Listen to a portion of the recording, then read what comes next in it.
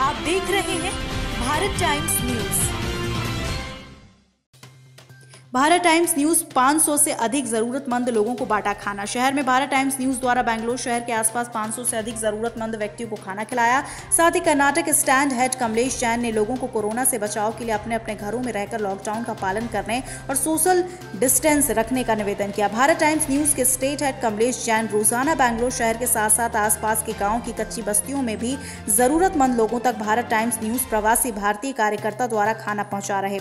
इस मौके पर भारत टाइम्स न्यूज़ के state head Kamlesh Jain, crime reporter Jitesh Jain समाज सेवी दीपक कोठारी और प्रवासी मजदूर मौजूद रहे। कर्नाटक वासियों को मेरी ओर से नमस्कार।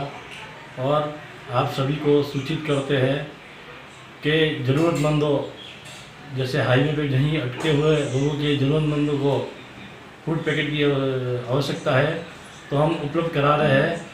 और सभी कर्नाटक वासियों को हमारा एक ही कहना है, चैनल के माध्यम से घर में रहे, सुरक्षित रहे और इस लॉकडाउन का पालन करें।